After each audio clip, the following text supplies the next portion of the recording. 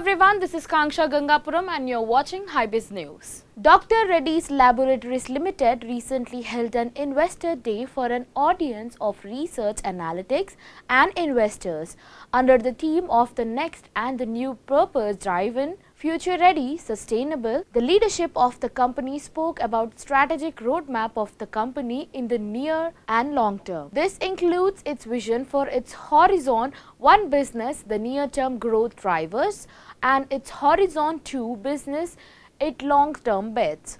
The company also describes its ambitious sustainability and ESG goals. Signing off, keep watching Hybiz News.